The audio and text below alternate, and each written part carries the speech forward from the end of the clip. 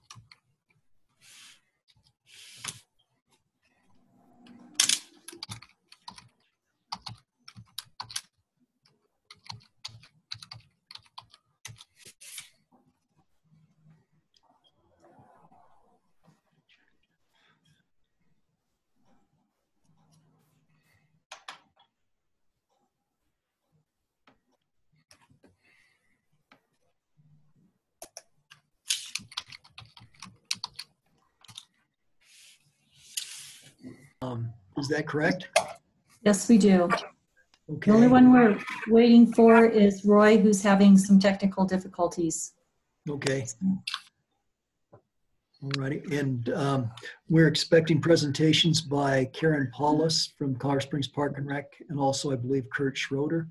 Um, Yeah, I know I've seen um, Karen on here. Do you want me to go ahead and bring them both over, or do you want to wait till, um, Let's, let's let, let's let Roy get in place for, in first, and then we'll go ahead and bring them in. very good, thank you.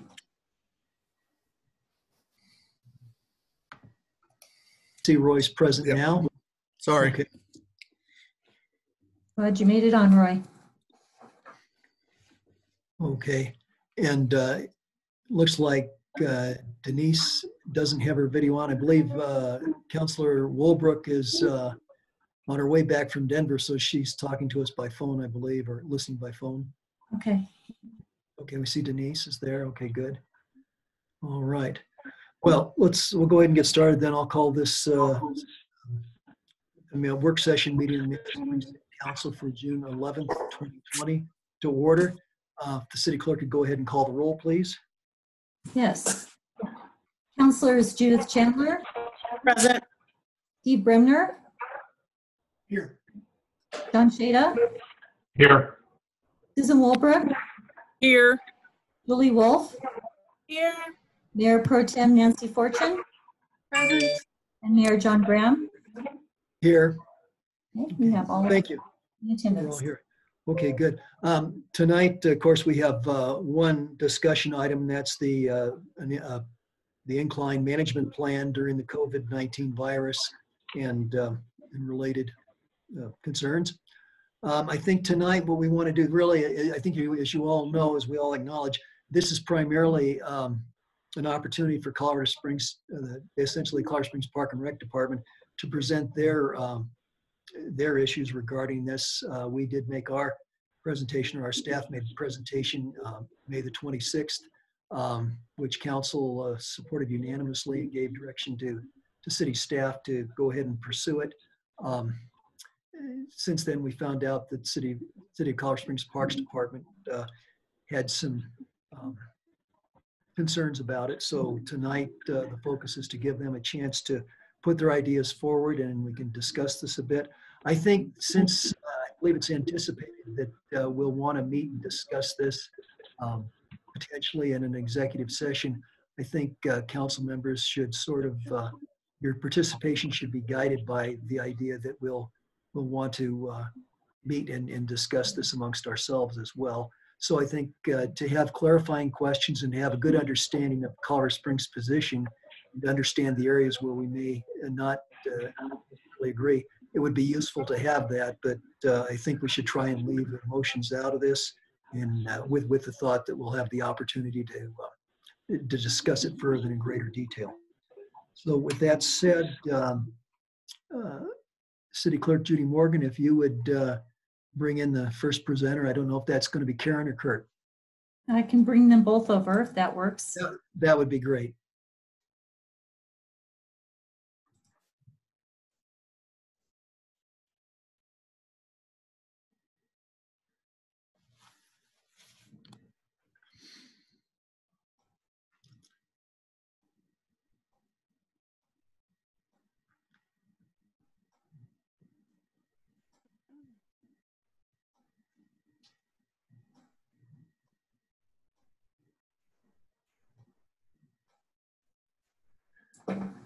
Welcome to TV land. Welcome to Manitou. Hi. Um, okay, uh, Karen, Kurt, thank you for joining us tonight. Uh, we we're really quite interested in, in hearing what you have to say. Um, currently, you're both muted, so um, who would like to start? If you could raise your hand and unmute your microphone. Okay, Karen, you want to go ahead and start? Uh, Good evening, uh, Honorable Mayor Graham, Honorable Mayor Pro Tem um, Fortune, and Honorable Members of City Council. Um, I I am Karen Palacios. I'm the Parks, Recreation, and Cultural Services Director for the City of Colorado Springs. And I want to first uh, and foremost thank you all for putting together this uh, special meeting. I know these are not easy. Um, This is our third council meeting uh, this week uh, as well. And so I just want to thank you for your time and uh, being willing to host this at a separate time in lieu of your regular meeting. So, um, what I'd like to do um, this evening is just kind of walk you through the information um, as one of the three owners of the incline and all and the properties and such in and around there. Um, we wanted to share with you uh, our proposal uh, based on the conversations and continued follow up we've had with your team in Manitou. I want to thank uh, Denise and Roy and uh, Dole. Uh, we uh, put a lot of time and effort into uh, working through some things over this last uh, couple of weeks, and I appreciate that time and and that attention to what we have to share this evening. So I want to be very clear up front. Um, we are very interested in requesting um, that the City of Manitou consider at their uh, next regular meeting, if you all would consider, um, removing the Manitou incline uh, from your emergency declaration of March 17th. And so that's what we are proposing and, and uh, requesting from you all. And then we'll share with you kind of what we heard from the emergency declaration and then how um, we would like to move forward with uh, your support in that effort. So if um, there aren't any questions up front, be happy to walk through that. Um, I'm going to be the primary presenter, and then Kurt's my my uh, going to come in with any stats and, and info that we might need, and uh, any additional dialogue. Any questions at this point, council? I, I think not. Karen, why don't you go ahead and get started? Okay. Does um, Roy? Do you have the PowerPoint, or am I going to share my screen? I actually have it as well, but if you'd like to go ahead and share screen, that's, that's fine as well. Okay, let me see if I can. Let me do that.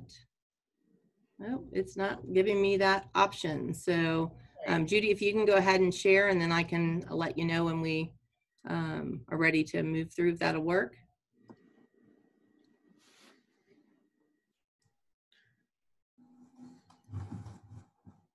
Thank you, Judy. Appreciate that. Sorry that wasn't working on my end. We've had some technical difficulties over uh, here today with some uh, firewall issues. So thank you. Mhm.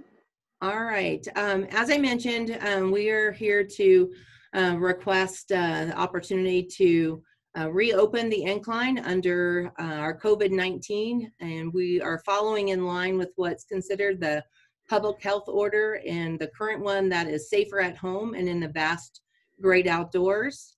And uh, what I want to share with you all going back, hang on. Oh, you got it, Judy? Let's It's go moving through around. But I wanted to go back to, just to be clear, what we're addressing based on what was identified um, related to COVID and why the incline was closed. Um, In item number six from the March uh, 17th, you all stated that um, the concern about Manitou Incline being an attractive nuisance and a health hazard. And then you provided uh, information around attendance and visitors um, as an issue. So again, concerns for the number of users, understood.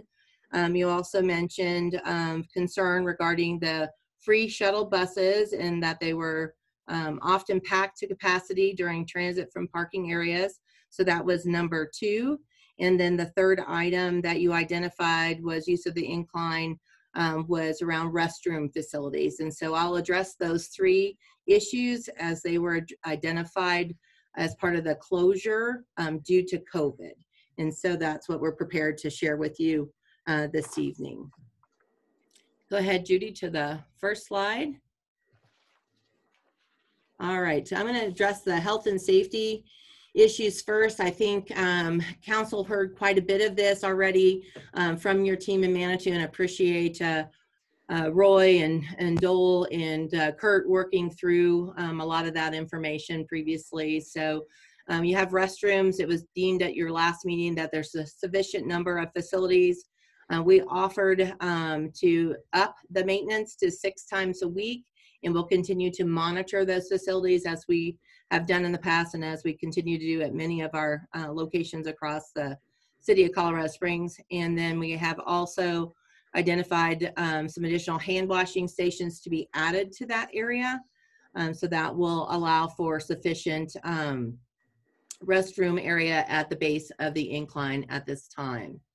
We will also follow all El Paso County health guidelines, which is what we've been doing since the pandemic started.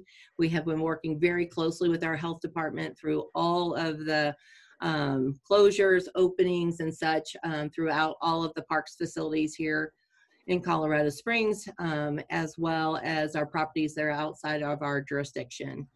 Um, that particular guideline right now is again staying home if you're sick. You know, we've encouraged that. We've uh, done a lot of videos and information around that.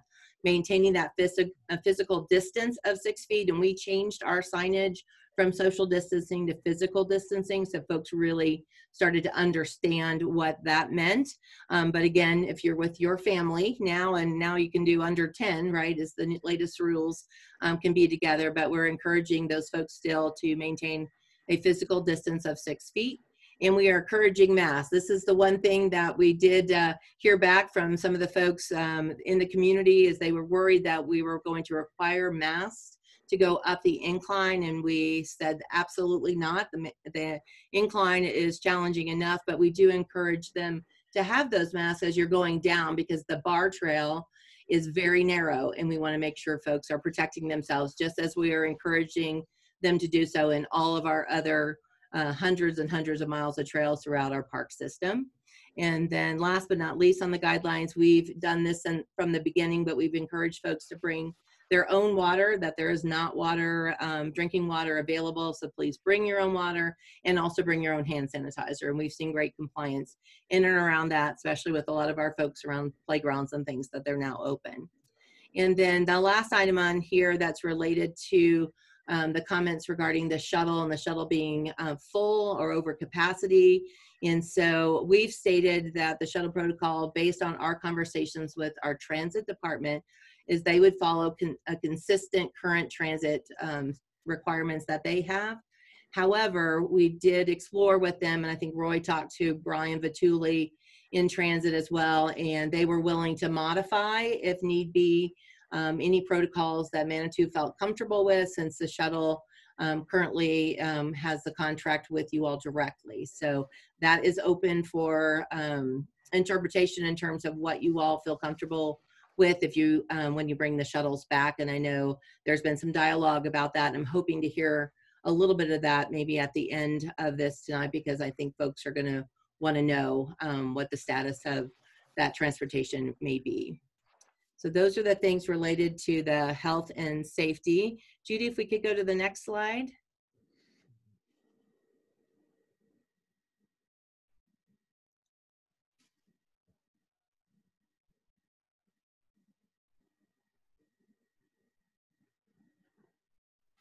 and not forwarding. Don't you love tech? It's been so much fun to do all these things for I know, by Zoom. I'm not sure why it's, it's not, let me just see that, there we go. There you go. So the Plan. next area, oh, thank you, Judy, appreciate that. Um, the next area um, falls under operational modifications. And so uh, we wanted to offer up after, um, again, additional conversations with the City of Manitou team um, in terms of how do we fall in line with guidelines that are outlined, outlined by the public health order. And again, that is the one identified under safer at home and in the vast great outdoors.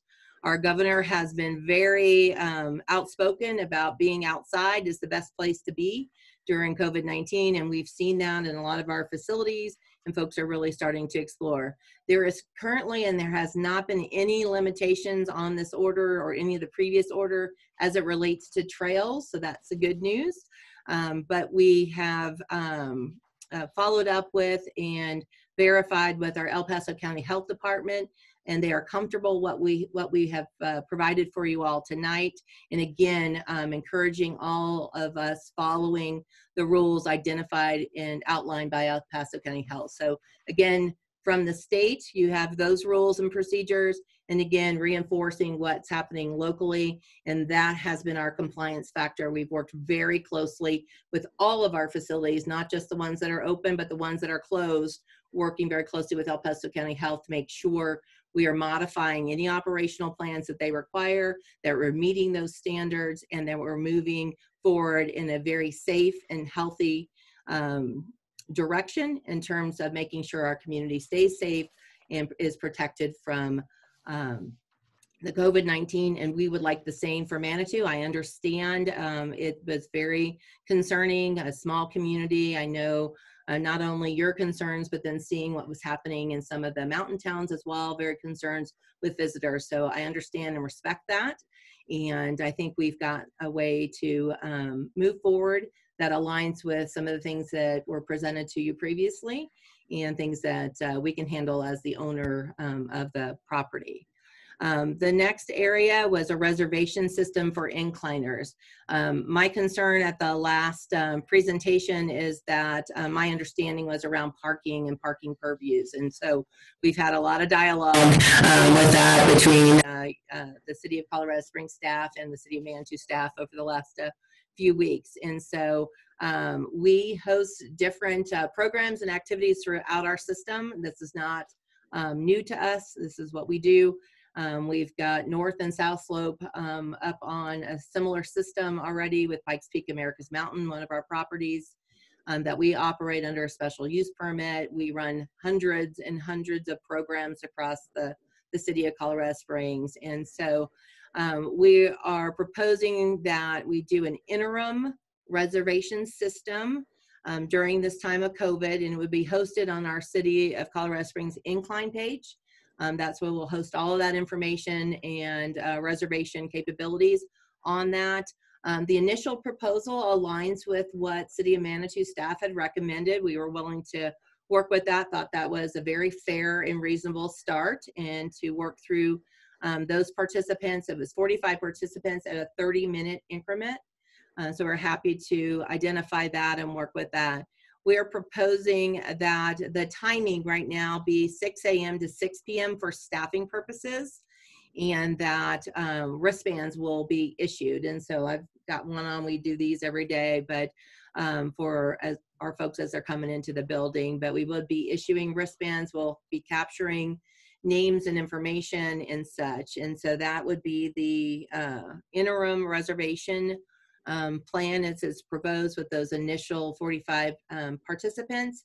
And then um, as we evaluate, as we see how things are working and understanding um, how folks are following those policies and, and such, um, we'll work with, we're happy to work with your team and talk through um, what's happening there and giving some feedback. So Judy, if you go to page four, next one.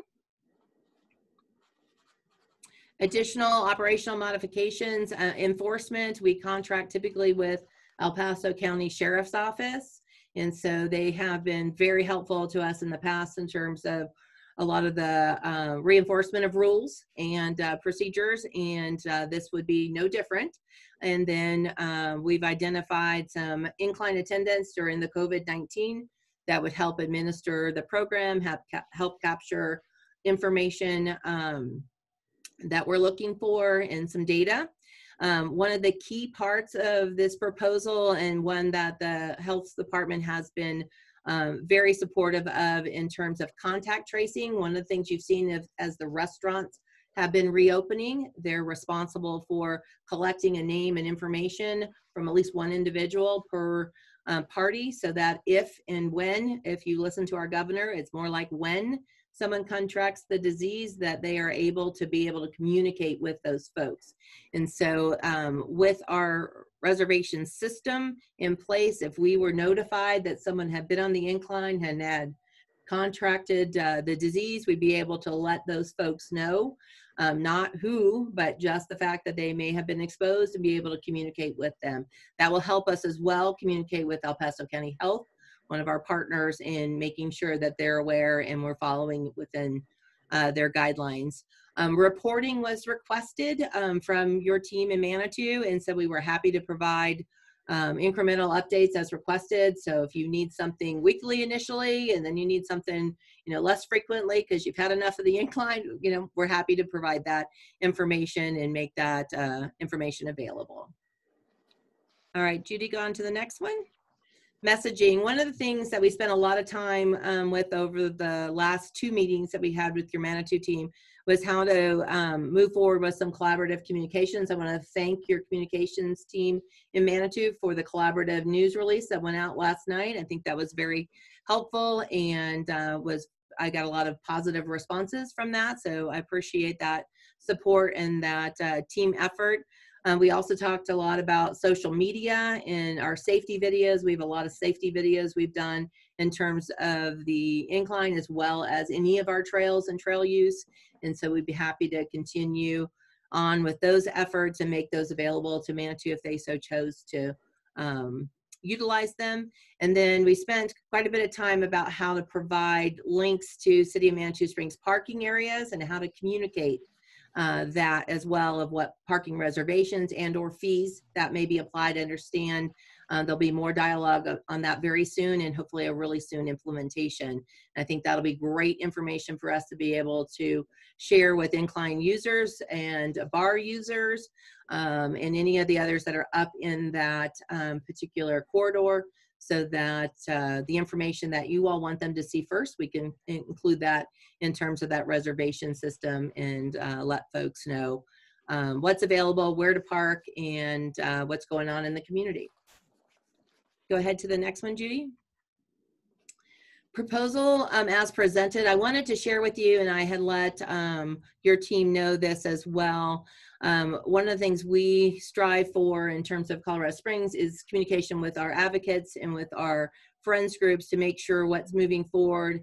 Um, we get good feedback from that, or if there's anything we need to um, be concerned with. And so we have provided this uh, information to not only our Colorado Springs administration, but City Council um, to move forward with this. We reached out to Colorado Springs Utilities and the United States Forest Service in terms of this proposal all of which are supportive of what we have presented here or what we're presenting to you all this evening.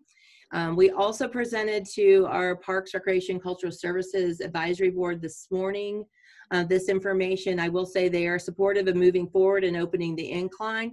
However, several members did have caveats in the terms that this is an interim solution and any permanent solution would go through the significant public process like we would do with a master and management plan. So there was a lot of conversation around having guardrails on uh, what this process is as it relates to COVID. And so I assured them that I would share this information um, with you all, let you know um, what their thoughts were, but that you were supportive and they were supportive of the proposal as it's presented. We also shared this information with the Trails and Open Space Coalition um, to make sure that they would align with this proposal as presented in the interim fashion, as well as Incline Friends. Um, we've also spoken with the Pikes Peak Outdoor Recreation Alliance around, um, again, their advisory board um, understanding um, this presentation under the COVID guidelines. And then I was really pleased. I think the collaborative uh, communication that went out last night and the initial proposal being shared with the community, um, we got very positive social media. And for those of you monitor comments and and things uh, very often, you will note that that's not always the case. And so I was really um, cautiously optimistic that we'd get good feedback from the community. And uh, based on our communications folks uh, monitoring those comments, we've gotten a, a lot of good positive feedback for the proposal. I will say the one concern that we did receive was concern about having to wear a mask to go up the incline. And we've assured that individual that's not what we're, that's not what we would be requiring, but we would recommend um, they have that mask with them, especially on the descent as it relates to Barr Trail to make sure our Barr folks that are coming up and those that are coming down um, can safely pass one another as we've encouraged folks to do elsewhere in our park system. And the next item. There we go. So path to opening. Um, I know you have to take this through to your regular meeting, and so we would be requesting that um, this be included in your June 16th meeting. Um, I did identify a potential opening date of June 17th, so the following day, but my, my staff has encouraged me to give them a few more days um, because we want to make sure we've got everything up and running and, and working. And uh, I also wanted to, you know, a little time too to understand if there's uh, any minor modifications or things that we need to consider and think about. So I really appreciate um, the opportunity to share this with you all. And my last slide, Judy, if you'll move forward is uh, any questions. A beautiful picture of uh, skyline below the incline. Um, and I just want to thank you all. I want to thank again Dole and and Roy and Denise uh, for their efforts and uh, for working through the complexities of the incline between ownership and um, you know with multiple owners it's a very challenging uh, dynamic it's also challenging to understand everybody's rules and guidelines and and know how those work and what um, what it takes to to implement. And so I'm appreciative of seeing. I I understand we're not doing the parking presentation uh, this evening, but I was um, appreciative of seeing what Roy had put together. And uh, I look forward to hearing more about that, especially as it relates around the Barr lot and uh, the shuttle and then what your plans are around Hiawatha. I think the community is very interested in seeing some of those things move forward. I know those are outside of COVID and I'm here only for COVID. So I know those are outside of that, but I look forward to uh, hearing more as you all move forward. Okay. Thank you very much, Karen. Thank you. Um, That was very helpful. Um, I don't know if Kurt's here mainly to answer questions or if he has comments he'd like to contribute at this time. I know Kurt's been very involved. You can pass it I'll, I'll be here to answer questions, Mayor, with Karen as need be. as understood. Okay, good, thank you. Um, I see Mayor Pro Tem Fortune has her hand raised up. Uh, Nancy, you Yeah. have the floor. Great, thank you. Um, I, uh, there's uh, stuff in here that I like, but there remain a lot of unanswered questions.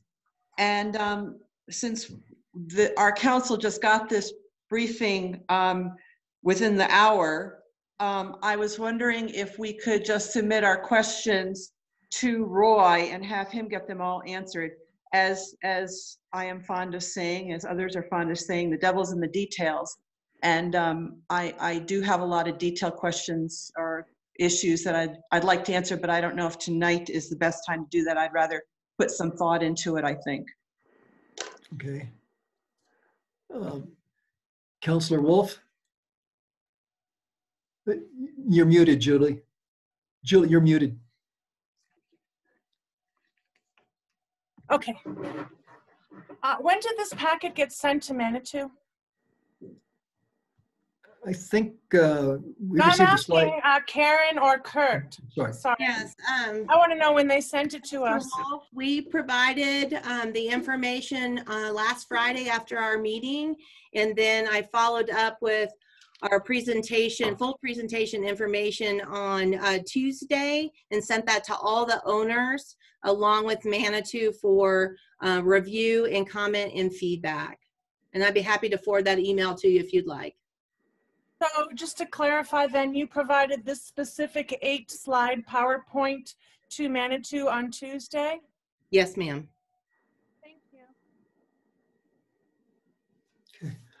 Um, Other council members, uh, uh, Mayor Pro Tem Fortune had uh, mentioned uh, the idea of submitting emails. Uh, was going to ask to- for response on that. Counselor Chandler, I see you had your hand up. You're muted. Judith, you're muted. Great. Thank you. I would just like to know when the press release was written, who was involved in writing that press release, and when it was decided that that was going to be released. Um, we worked with um, your folks in um, your communications. My communications team worked with your communications team. We put our information uh, together in the Manitou, put their information together, and then it was blessed by your your folks as well as ours. Uh, which folks was that blessed by? Um, is it Denise? Can you answer your communications person's name? I'm sorry. Uh, Vanessa handled it from my end. Yes, Alex was putting it together. Roy Dole and I looked at it, and um, I'm the one who said it's okay. So it's me. And I, I'm sorry, I, I, I'm, I'm still unclear as to when that was all put together and when it was set out, sent out. Minute, And when, last minute yesterday, all day yesterday. I don't know what time it was sent out because I did not send it. okay, but it was yesterday. Yeah. Yes. It was uh, late that uh, evening um, in terms of getting that out to the media. I have many other questions and concerns, but I will reserve all of my questions and concerns for an executive session. Okay. Um, Councilor, Councilor Chandler, I was going to ask you, how do you feel about submitting uh, questions as emails to, uh, to Roy to let him sort that out? Um, I, I'll, I'll discuss that with you um, after this meeting. Okay, all right, thank you. Okay. Um, Do we have other comments from council members? Uh, Councilor Wolf? Thank you. Um, this is a question for Karen. Uh, Karen, did you attend any meetings prior to today with uh, any Manitou staff? And if so, can you tell us when and who? Um, yes, we um, had several meetings uh, last week, each day. Um, most of us were all in attendance between Kurt and I and my team and Denise and Roy um, and Dole um, um, from your team. And as part of your proposal, um, uh, if we decide that we're going to resume using the shuttle this summer, who do you suggest should pay for it? Well, currently, the contract that you all have is with our transit services. And so um, that is uh, funded right now. I believe you're paying for the incline, and Denise, correct me if I'm wrong, but the incline shuttle is being paid by the Barr lot funds. And the city of Colorado Springs supports additionally um, your, I think it's 30, the 33 one as well. So um, Kurt, you've got all that info. You want to, I'm sorry, I don't have all that top of my head. The Barr lot funds do not cover the entire shuttle. Right, but uh, incli- it covers the incline shuttle. It doesn't cover all of your shuttles. No, it does not cover the entire incline shuttle of our cost. Sure, Route 33 is the route that takes, uh, that goes from uh, Hiawatha up through Manitou on Manitou Boulevard to Ruxton and then on to the incline. Um, The costs for that, and I'm looking for that right now. um,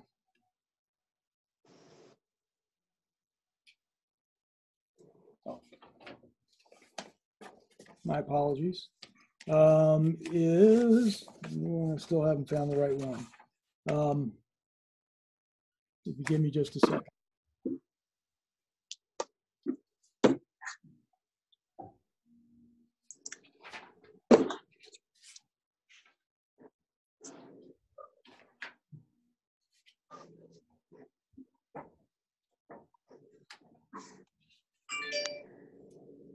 I apologize. Um, of that, um, uh, Route 33 uh, runs from 6, which is the one going to the incline, runs from 6 a.m. to 6 p.m. Uh, January through April, uh, uh, April and October through December. Um, the city uh, absorbs $160,000 of that cost, and the city of Manitou absorbs $204,000 that cost, I believe is the right number. So did I hear this right? January through April, October through December? So there's, where, what about the summer? Yeah, and then the summer months, and the summer months, as the contract's written, is what is the cost absorbed by the city of Manitou. But what is the cost for the summer months? Do you know that? I don't. Yeah, two, two hundred and four, I believe it's two hundred and four thousand dollars. I still haven't put my finger on. Oh, okay, I misunderstood. I thought you meant two hundred and four thousand was how much Manitou pays for the January through April and the October through December. Oh, no, sorry. Uh, the So- city of Colorado Springs pays for the shoulder months, I guess you'd say, and that's hundred and sixty thousand dollars. Whereas the city of Manitou picks up the, uh, cost as per the contract for the summer months. Um, May through September, I believe, and it's right at two hundred and four thousand dollars. Thank you so much. And um, under your proposal, who should pay for the search and rescue? Um, Well, Councilor per, per the Oh, current management plan, uh, that is something that is uh, relegated to the city of Manitou. How much do you think we spend on that? Do you have any information? I, I don't know. Okay, I don't either. I just thought I would I did, ask you. Um, and how did you folks come up with the proposal about the six times a week cleaning the porta potties? Can you tell me what formula you used or how that was arrived at?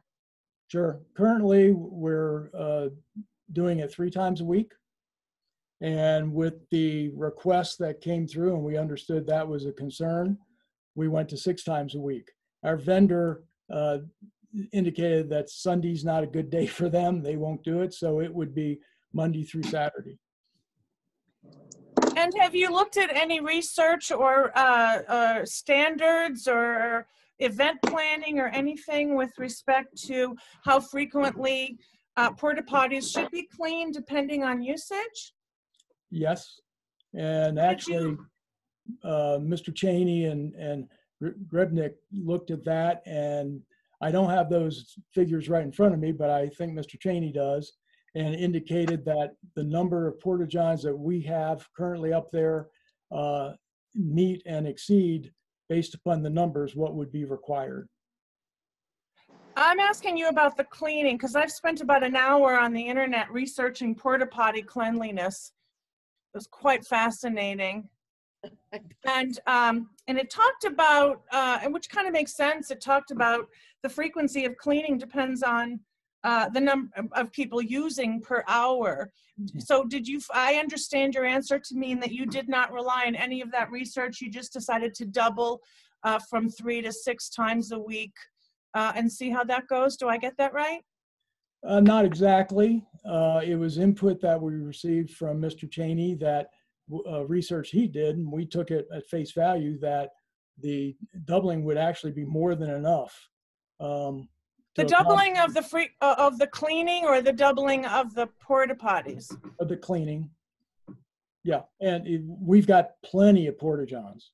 Uh, there's six up there, and based upon the numbers that we've got, even on the you know highest use days, that was and Roy, correct me if I'm wrong on this, is plenty, uh, actually more than enough than what would be needed. Oh, Okay. Roy has his hand up. M- Mr. Cheney, if you'd respond to that, please. Yeah, so the, uh, the only uh, research we did was on actual, the number of porta potties. And based on the chart from the porta potty uh, company, uh, it was around six, I think six to eight porta potties. So it does technically fall into that category. Uh, On the cleanliness, uh, we did not have any charts. So basically, uh, we wanted more cleaning of the porta potties. And the max Colorado Springs would do would be six times a, a week. Thank you. So there was no other, uh, any research that we did or could find on that, with that. Basically, the cost would, my understanding would be prohibited uh, and be to six times a week and they wouldn't do it on Sunday. So Okay. I don't recall any other discussion there. Okay, thank you. And I see Councilor Chandler has had her hand up for a bit. Councilor Chandler? uh, at the May 26th meeting, I specifically asked how much it costs. to rescue someone from the incline. And the information I got from Dole Grebnick was approximately $800 per rescue. In 2019, we uh, rescued, we, we initiated 60 rescues uh, at a cost of uh, 60 times, it's $48,000. And that is not including the cost of taking the rescue personnel out of Manitou that we desperately need to serve our city. It typically, it's three responders will go up to any rescue. So I hope that addresses uh, one of uh, Julie Wolf's questions. Uh, so $48,000 as of 2019 for rescue. Uh, Councilor Wolf? Um, and this is maybe like the million dollar question, but can you help me understand why it's so important to Colorado Springs to be in charge of the reservation rather than allowing Manitou to do that? It's my understanding that you folks uh, really want to be in charge and you don't want us to be in charge. And I have to, uh, I- can't, I need help understanding uh, where you're coming from uh, about why that's important to you folks. Councilor Wolf, this is uh, Karen Palacios. Yes, um, as an owner, it would be our responsibility for that. Um, when we originally entered into agreements, and again, this is way off COVID, I, that's why we're here. Um, but uh, when we originally entered into that, we were not the owners. It was a privately held property and a Forest Service property and a Colorado Springs Utilities property. And back in 16, we um, worked through um, an exchange and we acquired that property along with the Barr Trail property and so as the owner it makes sense that we're responsible for that uh, well, you wouldn't want us to be responsible for your parking enterprise right so that's why Well, I wouldn't want you to be responsible for the reservation either. well it's, we are the owner and that is our responsibility Thank you. thank you I great have question nothing further. I I believe Mr. Bremner was next and then Mr. Shada. Mr. Bremner? So this is for Karen or Kurt. What are your plans for post-COVID for the reservation system? Well, as I mentioned earlier, um, our board and uh, many of others in the community would, um, if we're going to do anything beyond COVID as it relates to the reservation system, that uh, we would go through a public process. And that's typically how we handle any of those major changes like that. Uh, the Forest Service was willing to support this because of the COVID 19. And uh, so therefore, if we were to continue on with any type of reservation system, we'd need to go through that public process. Mr. Bremner? So I guess, I'm not sure you answered my question. What are your plans to continue the reservation system after public process? I wouldn't know until we went through the public process. If it's effective and it's a good tool and it works and the community is supportive, we could absolutely consider that. But uh, again, clearly from our board, um, they want to make sure that there's a process involved in that. But we're very comfortable with it being as part of COVID. Okay. Mr. Bremner, I think you follow on question to that. So what are your intentions for the, for the reservation process? I'm not sure I understand. Assuming we go through a public process and it's approved and so on and so forth, are your intentions to continue the reservation process after COVID? It depends on what the public process uh, dictates. We Okay, I said, assuming we go through the process and it is approved, are your intentions to then continue the reservation process? If that comes out of the public process, absolutely. Why wouldn't we? That's what we do. We take input, we uh, move forward with our plans and work through with the community. And we'd want the community's support for that effort. That would be critical. And I think you're hearing that already from the community in terms of um, the original proposal and then moving forward with the reservation system that's free at this point until we go through a, a bigger process down the road.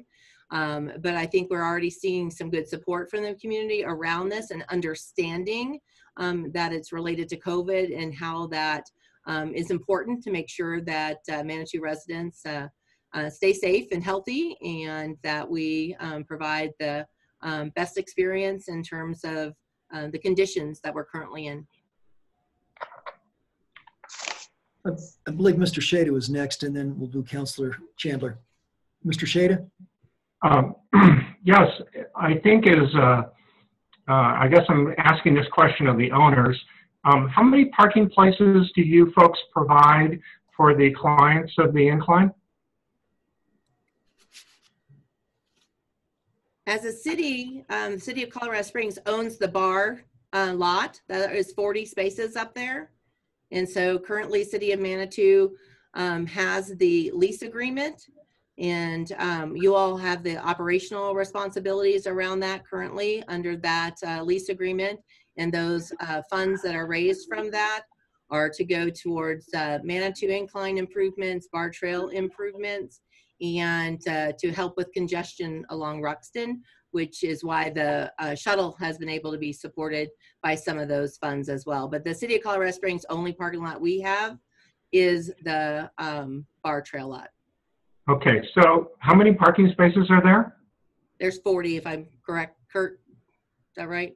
I think it's right at 40. Right around 40, 37, 40, somewhere in there.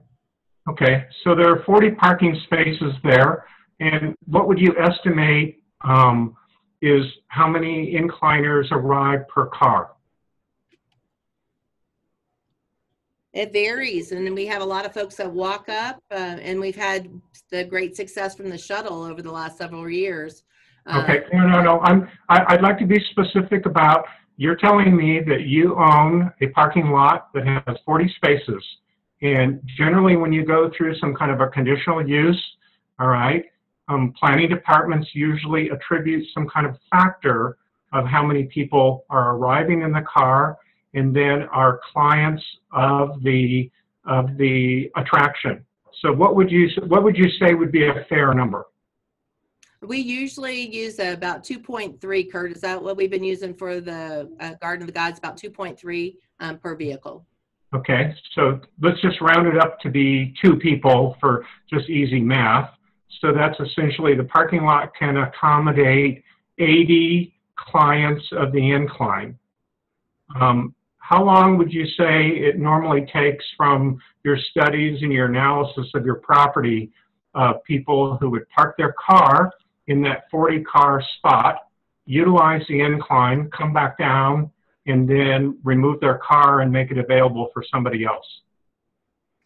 I would um, refer you to our parking enterprise folks. They do all that data and collect all that information. Okay, well, I, I guess I would, as a, as a resident of Manitou Springs, I guess I would um, say that it's probably normally, for probably most people, something about two hours, you know, maybe three, if you include kind of putting your shoes on and Oh, you mean the filling up your water bottle and things like that, right? Right. Yeah, yeah. Okay. I'm sorry. I didn't realize. I didn't think you were talking about the user themselves. But yes. Okay, right. so a rough turnover rate in that parking lot is about, what, four times a day? Yeah, so maybe right around there, maybe three to four. Okay, so um, let's say four times a day times 80 people, that's what, 240 people?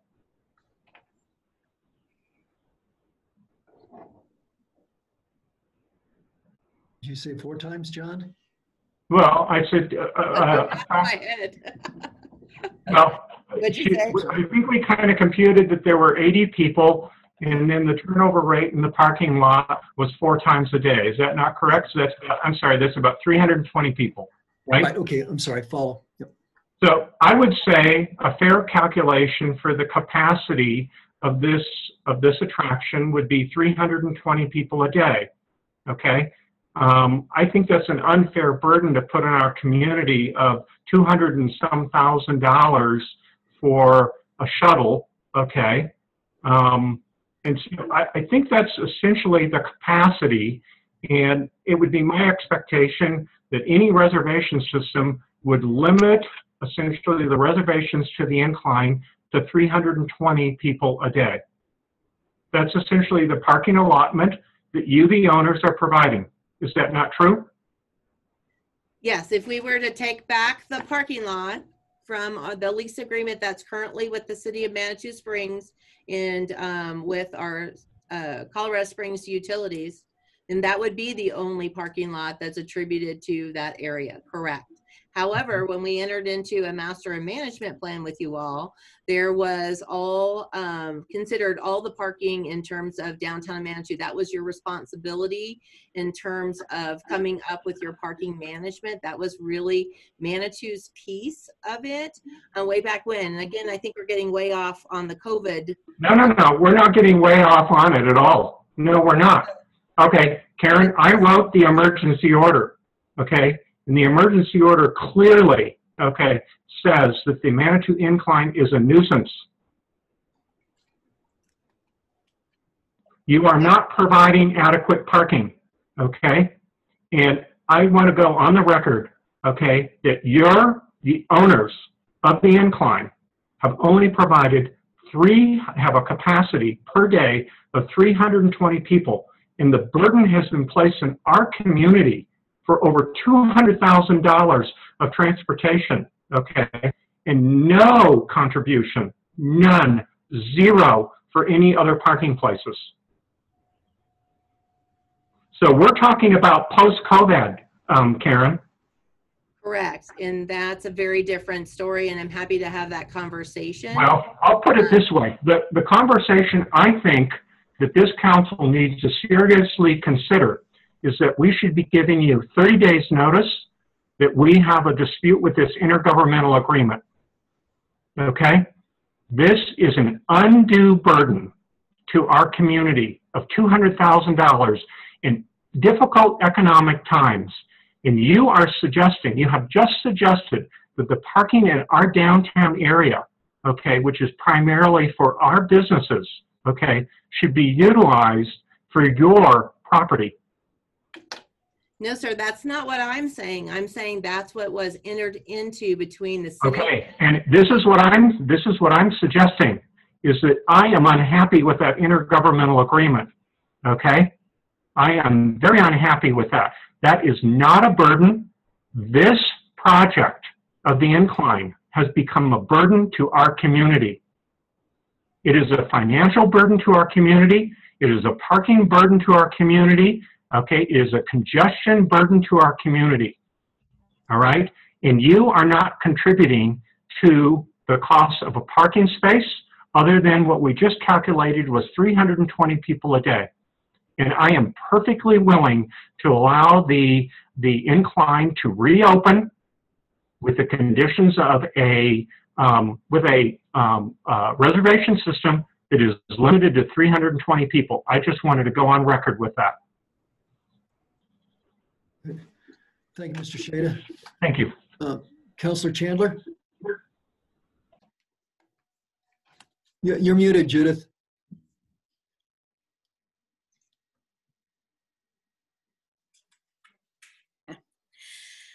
I want to make sure that we're all on the same page. I've heard a couple people say trail. I've heard a couple people say attraction. I want to make sure that moving forward, we are all very clear that the Manitou Incline is not a trail. It is not a trail. It's never been a trail.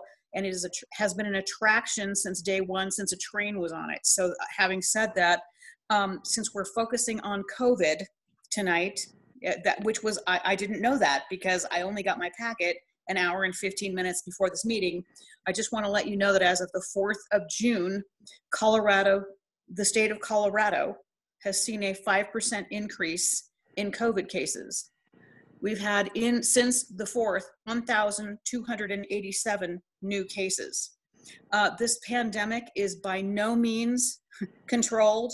It will not be controlled. It's going to go through several phases. And I don't know if any of you listen to NPR, but there was a renowned uh, uh, researcher who said we must always be wearing masks. Masks do. It, please go to NPR and listen to this. So you know you're suggesting masks for the way down because you know it'd be kind of cool on Barr Trail. And my job is to keep the residents of Manitou safe, safe, safe, safe.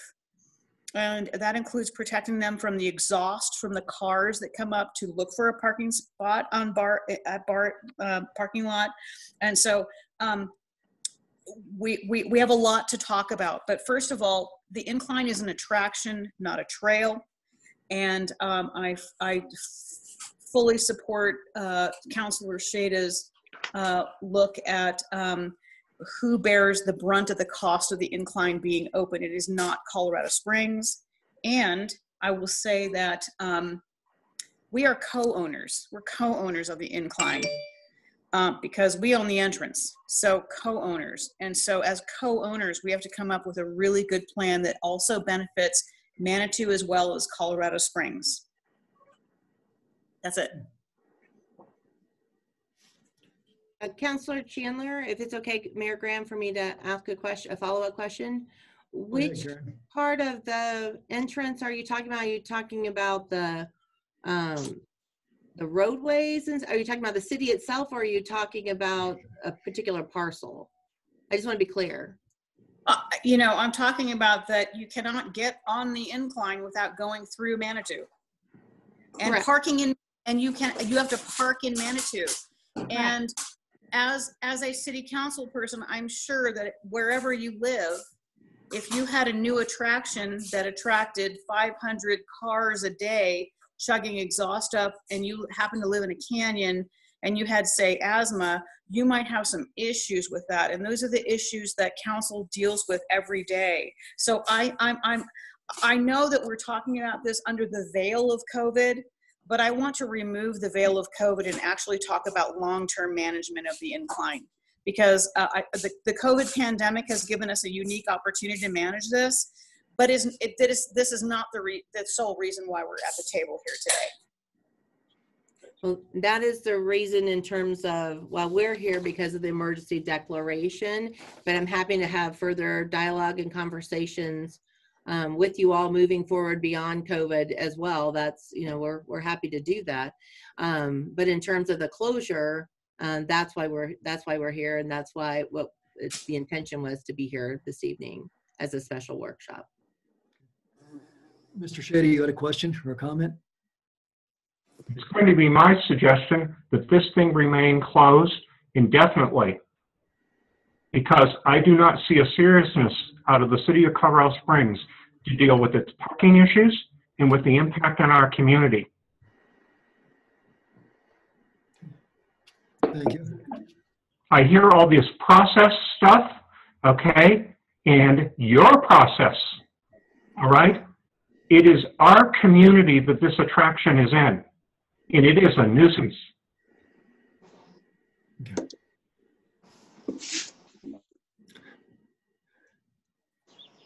With regard to the, the fact that uh, as, as this was presented tonight as a, to, to address matters during the COVID-19 uh, pandemic, um, this was presented clearly as an an interim solution and the idea that a significant public process would be involved if, if this was to move into a longer term, you know, a sustainable solution. I guess my question is one of the, one of the points that the Manitou Springs City staff made in their May 26th uh, presentation was that uh, uh, that, that the that the city of Manitou Springs, uh, Colorado Springs, and the Forest Service should, you know, immediately move towards um, towards that long-term process to look at what needed to be done. I believe the a NEPA uh, issue comes up here, and uh, Manitou had requested. Uh, our position is that we need to get on that immediately. My understanding is that Colorado Springs has uh, different thoughts. So I guess uh, Karen, if you could address that. Yeah, that'll have to, uh, Mayor Graham, excuse me, um, that will have to be addressed by the Forest Service. They manage the NEPA process. That's not my process, but I do know that's a necessary requirement as you look at the master and management plan from before. All of that was a pretty hefty um, lift in terms of bringing all of that work together. And I believe Council, uh, excuse me, Mayor Pro Tem Fortune uh, was involved and can recall how, uh, what a significant effort uh, that was to put that plan in place. And so I would defer to Oscar on his timing for a NEPA process. Anything which would involve any funding uh, from the city of Colorado Springs in terms of the planning and master planning efforts such uh, would did, would need to be placed in the queue and considered and, and gone through our public um, boards and our city council and mayor um, for uh, that to move forward. Okay. So when Manitou says that we need to get on this immediately, it, it sounds like uh, the Colorado Springs take is that uh, it'll move much, much more slowly. Um, And while Manitou is, is interested in uh, trying to comply with the Forest Service and those regulations, I, I don't see that Colorado Springs is necessarily quite as uh, energetic in that regard. It's Uh, is just, there- I'm sorry, Mayor, go ahead. No, go ahead. No, you go ahead. I thought you took a breath. I apologize. um, Mayor Graham, no, in terms of the processes and stuff, again, I, I don't control the NEPA scenario. That is a Forest Service um, requirement. Um, but in terms of budgeting for a master management plan, is that something uh, the city of Manitou Springs has funding available for that? My understanding from Denise, there wasn't funding uh, for that. Well, I think we're just beginning to look at that now. So uh, that is, I believe, believe correct that there isn't funding for that now. We don't know what it would cost, and I'm not sure that we know what all would be involved. Um, Since you have some experience at it, I was was actually kind of hoping you could provide a little more more uh, guidance. Yeah, we um, did. I did reach out earlier today to the same consultant that um, the communities used the first go around, and I wasn't here for that for first go around. I've just read all the all the documents and seen all the work that everybody did to um, put those uh, documents and plans in place. Um, but it was, I believe, it was over a hundred and twenty uh, thousand dollars for that um, master and management plan originally. Um, and then I do, don't have the details on what the NEPA process would cost at, at this time. We'd have to defer to Oscar um, to understand what's involved in that process. Okay. Do you, do you have a sense of how long that might take? What would be a typical time? Um, normally to go, I must say normally, I don't know that there's really a normal uh, scenario. It just really varies um, in terms of the community and the community involvement. Um, a good example is we um, have done NEPA processes um, for uh, the uh, Pikes Peak um, Summit House. And that was a pretty lengthy process, and we already had one on the books, but it took uh, almost four years to put all, all and everything into place. Um, we've done one recently as it relates to uh, Gold Camp uh, Road and uh, being able to close uh, those gates, and that was about a two-year process. So it really depends on the community, how supportive the community is, and how um, how much there's consensus and collaboration around the effort going forward. A very divided process is very difficult, extremely difficult.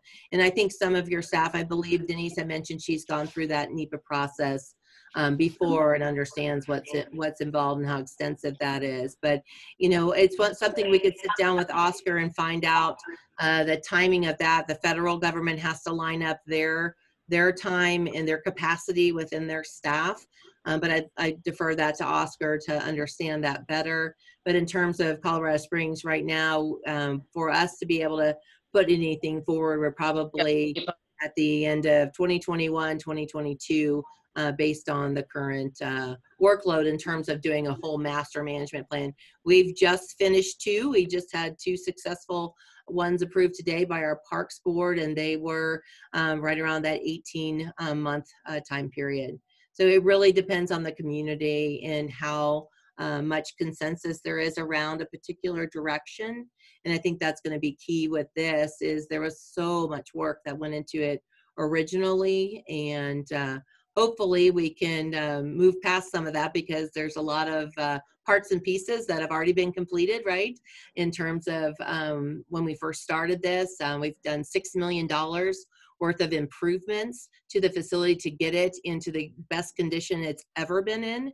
And I think that's been an extremely um, big check mark in terms of the, the current master management plan. I know you all have done a lot of work along Ruxton, um, which was part of that original plan as well. And so um, depending on what's all involved and what's uh, required to uh, converse with the community on and get their input on will depend on how long it actually takes. So there's no great science to it. Unfortunately, it just depends on the consensus amongst the community as you move forward with those dialogues. Thank you. Um, so Councillor Shada and Councillor Bremer had their hands up about the same time. Um, Mayor Graham, I think I have my answers question, my, my, my questions answered. Thank you. okay, thank you. Mr. Bremner? So this NEPA process is because of the national forest portion of the incline, is that correct? Correct. And And the, that portion is only the very top portion of the incline. It's the very, very last portion of the incline. Is that correct?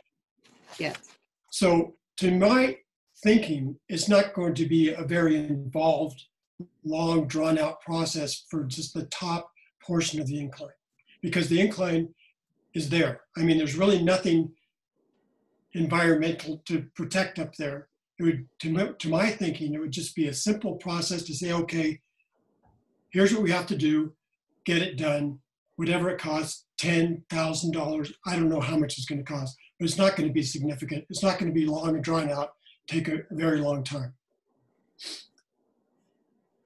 Mayor Graham, is it okay for me to approach Councilor Okay, Bremner? um, Yeah, Karen, go, go ahead and and speak to that, Karen, right. if you would. Uh, Thank you, Councilor Bremer. And, uh, and I was remiss. Uh, You were part of that original plan as the original Friends, uh, Incline Friends uh, president and uh, know what that heavy lift was like before as well.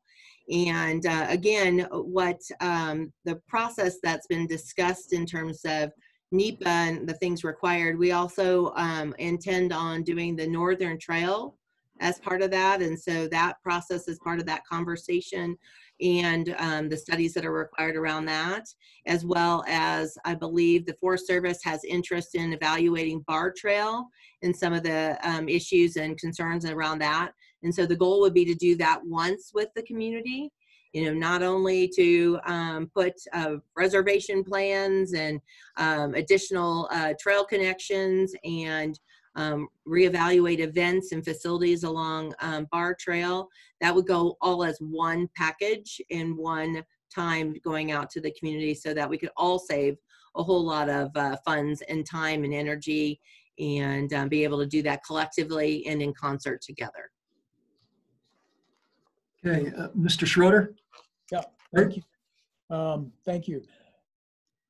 To the best of my understanding, this is something we're going to have to chase down and, and better understand, but because the trail is on a portion of, uh, part of it's on Forest Service land, it's a continual trail, so the requirement typically from the Forest Service is you have to study the entire area because they look at it, even though it's not on property that's theirs, it's a continual connection that crosses over some additional property and because we're touching Forest Service land, uh, they require something more extensive than what it does make sense. Uh, what Mr. Bremner said, hey, it's only the top third of the incline. No, uh, based upon the direction or the, the guidelines that Forest Service has, you have to cover the entire trail section because they look at it as a linked continual stretch.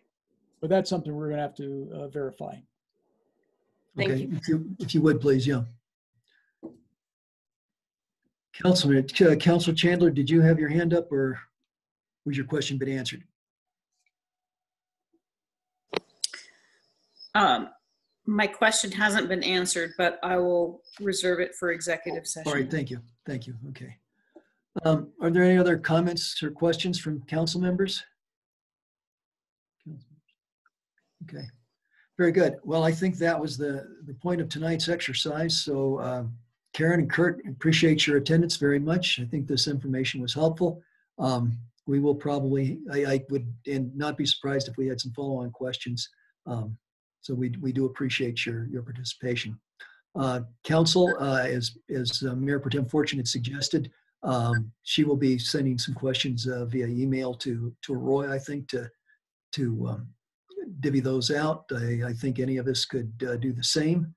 I'm sure Mr. Cheney would be happy to uh, handle those. Okay, If, um, if there's no other business, then I think we could, uh, we could conclude with this item. Any last comments from council? One last Yeah. comment. I'd like to, I'd like to uh, set an executive session as soon as possible to discuss the incline issues. Okay. um, Councilor Wolf? You're, you're muted.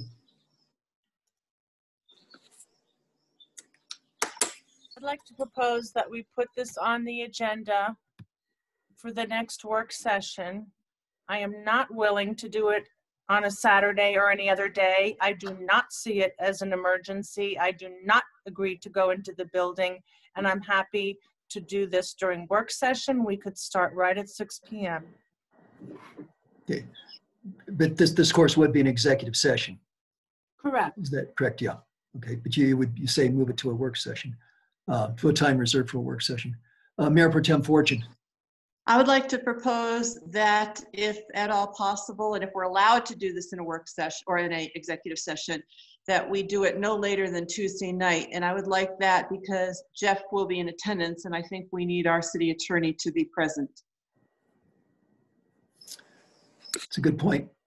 Seems to me. And I would also like as many people as possible to do it. And I understand if people are uncomfortable coming into City Hall, but um, I would feel very comfortable in, in uh, coming into City Hall with proper social distancing and, and precautions uh, implemented for it. Okay. Councilor Wolf? And I would like to propose that N- N- uh, Nancy Fortune is not uh, the boss. And she is not going to decide if we don't want to come, you don't have to come. And- and The the- question is, we all have the legal right to participate, and we will all be given the legal right to participate regardless I- of where it will be. I just want to say, Julie, that I was not di- directing anything. I was, I was providing my input as one of seven. I think we can come into, those of us who want can come into City Hall. The rest, if people are uncomfortable coming into City Hall, they can Zoom. So I, I'm not, I, if you are perceiving that I'm being the boss, I am not being. I clearly understand I am one of seven. Thank you for clarifying. Okay. Thank you. Councilor Chandler? Uh, just point of clarification, so am I hearing everyone saying that uh, the next work session will be exclusively an executive session starting at six? Did I hear that? Or, or, I was proposing an executive session after next Tuesday, uh, since Jeff will be there. Okay, That's so late. That's going to be a very late night. The reason I thought it might be helpful to do it at a work session is we can start right up at 6 PM. If we're going to have this start at 9 PM, it, it would be tricky, yeah. y'all better drink a lot of coffee. I don't think that's a good idea. I would rather it be at a work session so that we can start right at 6 because we already have an agenda for Tuesday, I would imagine. If we can scrap the agenda on Tuesday and it's nothing urgent, I'd be all in favor of it.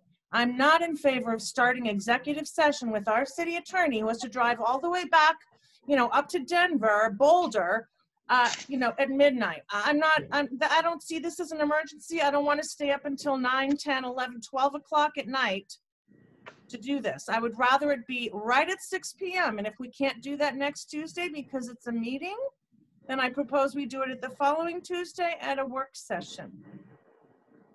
Okay, um, let, let me ask this then. Suppose we looked at doing it Monday night, start at six o'clock, had an I executive oppose session. to doing it anything other than Tuesday night because we already have plenty of to- things to do. This is not an emergency. I- This is Karen's emergency, but it's not my emergency. And there's no reason we can't do this on a Tuesday night. You personally said that people who are employed should be encouraged to join city council. I am full-time employed and I have joined city council and you keep scheduling these meetings. I object. This is not an emergency. This should be on a Tuesday night.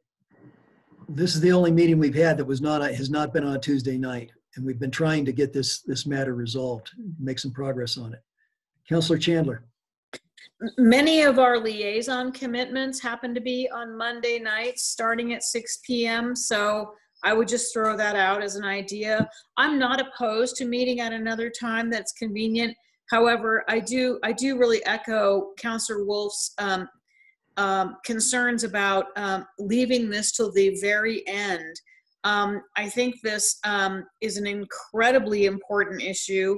I do, I believe that it deserves a work session. I believe that we should commit a work session to it. There's lots of moving parts here, lots of issues. I have a number of issues just on, say, the press release, uh, those kinds of things. I want some answers. And I think that those are best served in an executive session.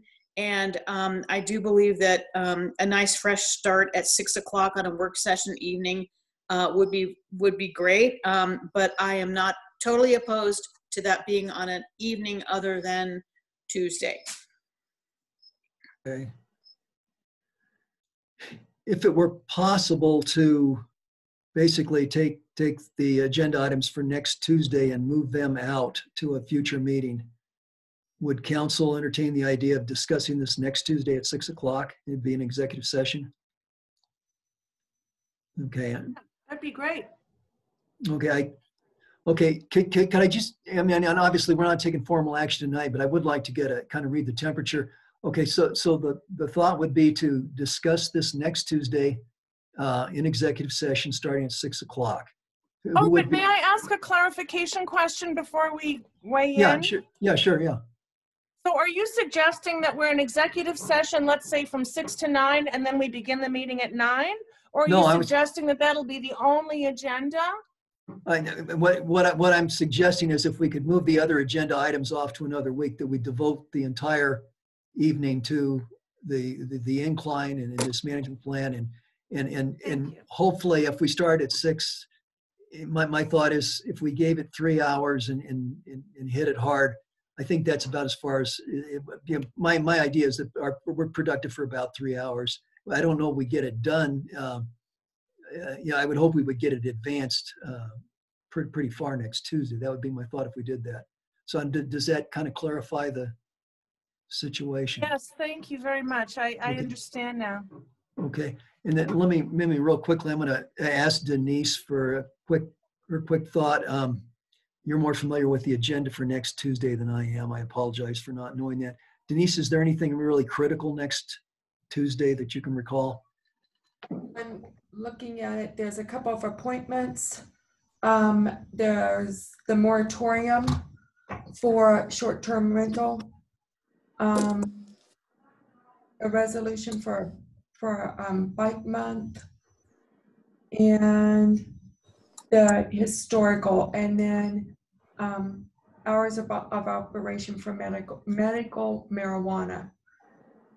So you Okay. probably get most of the work done if fairly quickly, I would guess, except for the, um, so yeah, those are the items.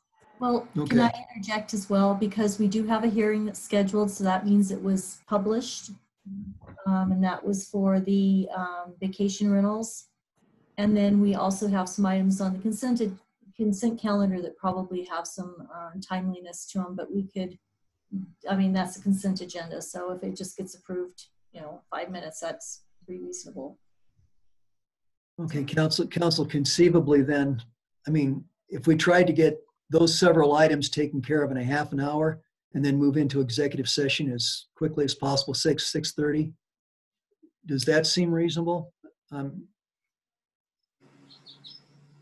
Okay, I guess. if it- Yes. That seems, okay, let's just, uh, raise your hand if that seems like it, it would be a reasonable approach.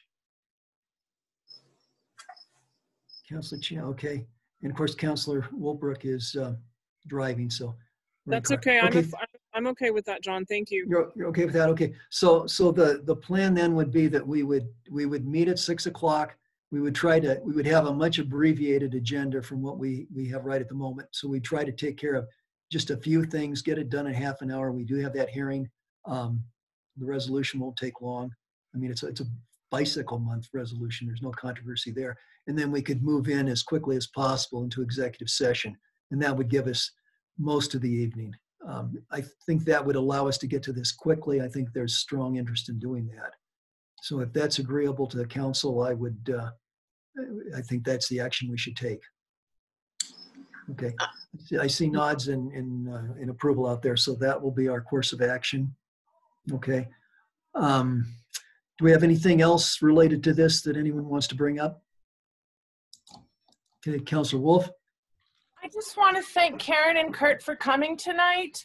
I know we don't agree on a lot of things, but I do appreciate your professionalism and your willingness to come speak with us and your clarity and well-organized presentations. And I also appreciate that you got your packet to us 48 hours in advance. So thank you both very much. I mean, we didn't get it 48 hours in advance, but somebody in Manitou apparently did. But anyway, so thank you both. Well, I just, Mayor Graham, if it's acceptable, could I just say thank you again to um, to the council for the opportunity this evening. I look forward to answering any follow-up questions that you have, and thank you for for your time and uh, feedback. And um, if there's anything else that you need from uh, myself, don't hesitate to reach out. Uh, Roy and Denise and, and Dole have uh, our contact information, and I'd be happy to um, talk with you individually if that makes sense as well. So thank you very much, and I appreciate your comments. Thank you. Thank you very much. We appreciate your, your time and, and assistance. Thank you both, Karen and Kurt. Okay, Thank you, Mayor. thank you. Um, So technically, as we have with every meeting, whether it's a regular meeting or a work session, uh, we can discuss council correspondence if anyone has anything in the last two days. You want to bring anything up? Uh, Mayor Pro Tem Fortune? Um, yeah, and as with everything, I do try to share what I've been doing, and so this is my opportunity, my easiest opportunity to do that. First of all, I took up um, Chief's uh, uh, Chief Churchill's invitation to go and visit with the police today. I sat in on some of their training. It uh, I really enjoyed it and took a few minutes to just speak to them, um, and that was a good experience. Secondly, I have received several um, concerns from community members, and I've been remiss at not bringing this up previously, but um, looking for council statement on the current um, uh, conditions in our country when it comes to um, the protests and so on. And I would certainly like for us to come up with a statement or something. And I don't know if someone on council might like to come up with something that we could all agree to. Um, but I, I personally, that, that if we could come up, if we as a council could speak with one voice and give some leadership to the community, I think that would be very appropriate. So I throw that out. Okay. And I see a, a thumbs up and I've seen, seen a couple of nods of the head. So I think uh, it seems like the, the majority sentiment here is in favor of that. Um, So the question is, how do we do it? Because I think sooner rather than later is uh, kind of important. I, I think that this is season. I really Yeah. think this be- is like a future agenda item. I think it requires a process, and the process is uh, a deliberation. So I would like to recommend that if we're going to take on something like this, we do it by adding it to an agenda so that we can have full public process and we can deliberate. I Does agree. someone, does someone on council want to come up with a draft that we could deliberate over? I, I could take a cut at it. Um, I'll, I'll volunteer to do a, to a first draft uh, unless, unless I'm breaking somebody's heart. I, I didn't see any hands go up there. You might be great. I breaking, can work with you on that. I- pardon? I'm happy to help you with that. Okay, um, alrighty, okay, so, um, so be it. Okay, um, all right, uh, Councilor Chandler? Um, I just want to tell everybody that um, I had three and a half hours of an orthopedic uh, appointment today, and I, I really want to jump in full full bore and do everything I can. But my doctor has uh, put me on some restrictions, and that's why I'm not jumping in and volunteering for all this stuff. So just please let me just bear with me for whatever how many times uh, they said it could be takes up to six months for my foot to heal, and if not, surgery is in, indicated. So I just want to let you know that I'm not I'm not um, volunteering for these, not not volunteering for these things because I don't want to. Uh, it's just I have to some other issues I have to take care of. Um, that said, um, I had an awesome lunch with uh, police uh, chief Brian Churchill and two um, mental health counselors from AspenPointe, which we are very highly motivated about setting up a emergency mental health response team for our vulnerable population in Manitou with the idea that ultimately at some time down the road, we might even have a brick and mortar office where we can refer clients to uh, get mental health services. But right now, it looks like we're moving forward with that. And I'd like to give a shout out to um, Chief Churchill on that. Thank you so much. This is so needed in the community. And also, I would like to say that um, we will be talking about the quarry issue at the next OSAC meeting. So I will be bringing all of that information to you at the next um, available meeting when we have our next OSAC meeting. That's it. Great. Thank you, Councilor. Uh, Anybody else? Okay, there being, uh, uh, Councilor Wilbrook, since you're uh, um, online, is- did you have anything you wanted to add for council correspondence? Thank you, Mayor, but no, I do not. Okay, great. Thank you very much. Um, All right, let's move on and see if we have anything for, uh, under the uh, city administrators reports. Mr. Cheney? Yeah, I just want to make a statement that uh, Colorado Springs' final PowerPoint was set, sent at 1:56 PM today, which is four hours and not 16 hours ago. Thank you. That's all I have. Yeah, very good, good point. Um, Yeah, I I should probably add too that, uh, I know Mr. Cheney had a meeting scheduled with uh, Karen earlier in the day to, to go over slides. I think that was first thing in the morning. So, um, yeah, that was, uh, that, that needs to be recognized. Good point. Uh, Councilor Wolf, did you have comment? My comment is, um, and I guess it's more of a recommendation because I know we're not voting and making motions or anything this evening, I assume. Um, but I, I would like to make a recommendation that staff refrain from any further conversations with Colorado Springs regarding the topic that was presented tonight until we all have an opportunity to coalesce and discuss and share ideas next Tuesday, which is just a few days away uh, during our executive session. I think that would possibly avoid some problems, even if no one intends to cause them. And I think we've made it clear tonight that we intend to deliberate seriously about all of this stuff, and we're. But I, I don't want uh, to confuse things by having further press releases, emails, phone calls, meetings, Zooms, any of that. Uh, it's just my personal suggestion. I know I'm not allowed to direct staff. Well, and I, and I think that we we would anticipate that some of us may have uh, questions that would email to, to Mr. Cheney, and he might, in order to get the answer, have to contact, you know, uh, either Karen or Kurt. So that would, that would be, Well- an issue. would, would that, in the context of that, would, would you be okay with that, Councilor Wolf? I don't think there's any problem uh, with me, uh, for me, if someone just has a, a question like, what do you mean by this, or, or what have you, but in terms of proposals, uh, settlement proposals, legal contract modifications, uh, opinions, I think all of that should wait until we can deliberate together before it's presented. But if the question is something, you know, uh, like, uh, what's the width of your parking lot? Uh, or uh, show us more information, if you would, about blah, blah that you presented. But I don't think it's appropriate for us to be taking any positions or suggestions or recommendations until we're on the same page together as a group. Okay. And I would apply that to staff. Okay, um, and I noticed Councilor, or uh, Mayor Pro Tem Fortune had her hand up, I think, probably on. Yeah, this no, subject. you answered my question. My concern was I had withheld my questions to, from the briefing tonight because I, but I probably got 20 questions that I want to ask. And I- based on what I just heard, I will send them to Roy and he can send them to Color Springs, whatever. Um, I would like to hear staff's, uh, if, if we are putting, no, I can, I can go along with not having a lot of extra discussion other than get our questions answered. Okay, does that, does that seem reasonable? Okay, all right. Um, Really just a three-day moratorium if you don't count the weekend. Okay. All right. I'm sorry.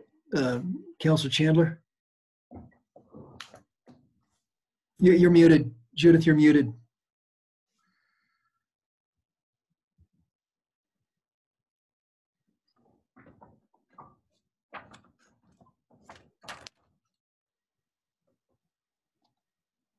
Okay, now.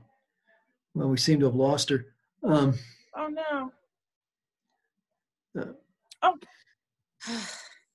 okay. Oh, it happens to me once a meeting. Um, so I have a number of questions and concerns about th- uh, the, um, what has transpired since May 26th that may not be in the purview of Roy Cheney. I mean, there's, I have several questions, including the um, presentation that he, they weren't available to. So I'd like to know who um, I send those questions to. They're, they're, they're procedural questions. And um, perhaps, Mayor, would you want us to send those to you or um, I, I had I just have some some real concerns and so, so- some of them revolve around um, how, when when we got the packet, how late we got the packet, the press release that I I don't know about you, but I was no part of, um, and uh, some communication disconnects. So I have lots of questions, but I don't know who to field them all to. Well, if, if you would like, if you want to send them to me, I will, uh, I'll certainly take a look at them. We'll see how we can get them answered or, you know, it, it may be that, uh, that this is a lesson learned and we want to do things differently in the future. Uh, I mean, that, that's just my shooting from the hip. But yeah, if you want to send those to me, that I'll take a look at them. Is Thank that- you, Mayor. Appreciate that. My, my pleasure. Uh, Mr. Cheney, did, I, I I think you were finished. Was there anything else? Uh, no, sir. Thank you. Okay, great. And thank you. I know you really worked hard on this, uh, so I appreciate your efforts there. Um, Denise? Denise, did you? you- Denise, okay, you didn't have anything. Um, Okay, Councilor Wolf, I see you got your hand up. Yes, may I ask um, if you, Mayor, would be um, willing to share any emails that you get from any of us council members, uh, unless, um, I don't know if that's a violation of the open meeting law, um, Yeah. but I would very much like to know what the questions are and what the answers are. Uh, I don't want to reinvent the wheel. Sometimes if I can just read someone else's Yeah. questions, it just triggers another good idea, thought for me. Yeah. And so it really helps me. I'm a learn, a group learner that way, Yeah. but I don't know if that would be problematic. I would guess the questions can be sent to all of us. I don't know if the answers uh, can be sent to all of us or not. Do, uh, do you have any insight on that since Jeff's not with us tonight? Um, Good question. Let let me make one one quick comment. Um, I, and and I will, I will defer to uh, the city clerk on this too, but I was thinking maybe if, uh, if there are answers, I could just print them out and bring them to the meeting next Tuesday and give everybody a copy at, at the same time. I, then I think we would be, we wouldn't have to worry about violations of the, of the Open Meetings Act. I'd appreciate that. Thank Would- you. Would that, would that work? Uh, Yeah, that would be helpful so I can learn from other people's questions and your answers. That would be great. Okay, uh, Judy, would that, That's advisable because that way everybody's hearing the answers at the same time. It's in public. at the same time? I just just thought thought that it- executive session. Right. Okay, uh, Councilor Wilbrook? I just thought that if we shared questions without deliberating them, that that might be helpful, and I didn't think that violated the sunshine law. It's when you start to have discussions with three or more that, and you start going back and forth, that you're in violation. But if you already see that one council member has asked 20 of your 25 questions, then it just seems like, I, I just, unless I'm wrong about that, and I believe Judy Morgan would be tonight's expert on that, um, it's hard to resist the res- reply all or reply, but getting a list of questions and knowing what each other's questions are, if we're not deliberating them, in my reading of the law, is not a violation of the sunshine law. Okay, So- Judy, Thank could you, you speak? Susan. Challenge you would have is if there's some sort of a direction or like a implied um, decision or something where it's, it's very clear that somebody's coming to a decision on something or kind of directing everyone to think a certain way um, that could be considered like deliberation or, or you just have to be careful that those, um, those actions are done in, a- in, according to the law. So if it's, when you're, if you're going into executive session to get legal, a legal opinion, um, tho- those are, you know, questions you ask and then, and then, as you know, the attorney gives you answers.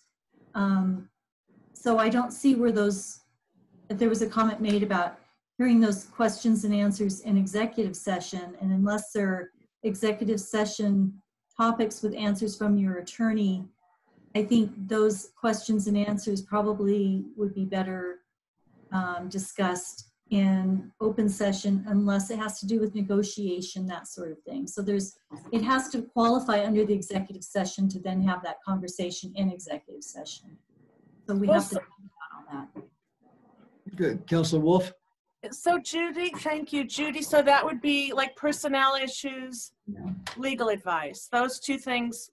Any Or no- questions, any of the questions going along, personnel concerns, legal advice concerns, that would move into the executive session? So there's seven things that, that it could fall under. So we would just ha- need to make sure that we go ahead and um, create the agenda item to cover those items that will be potentially discussed in that executive session. So if it's personnel, if it's legal opinion, and if it's um, like negotiations or something along those lines, we would need to agendize it such, and then that could be discussed in executive session. Councilor Wolf? So does that, do you need that information uh, in time for tomorrow's packet I would need, yeah. or agenda? I guess what we, what I'm asking then is, is can we assume that those are the, the areas that we want to make sure we cover when we do our agenda item wording? I would, I would suggest personnel and legal advice. I, I, those are the only uh, agenda items that I personally can imagine coming up. I just want to make sure we give proper notice uh, in your, you know, agenda announcement and such. So I, I'd like to hear from other people, but those, I'm trying to think broadly. Uh, Those are the only two issues I, I can think of. Is there maybe some personnel issue questions? I believe there are. And um, also some questions for uh, legal questions pertaining to the incline. I think there are three, um, Judy, what I'm hearing is the, uh, the legal or the incline and negotiations, personnel, and then also incline enforcement. And that would need to go under there. So we can ask Jeff for the verbiage of those three things.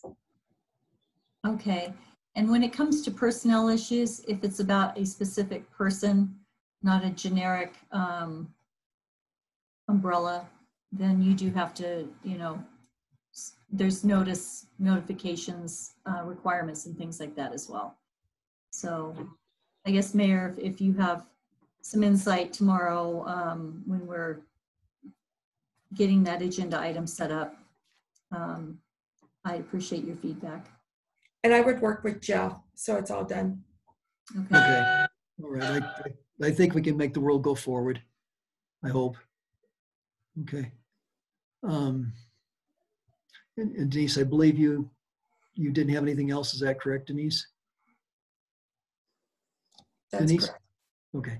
All right. Well, I think we've covered everything. Um, unless there's anything else, I would uh, say that we should adjourn and call it a night. Thank you, everyone. Good night. Thanks. This is uh, extra, extra duty, so I appreciate your efforts. Thank you. Good night. Thanks.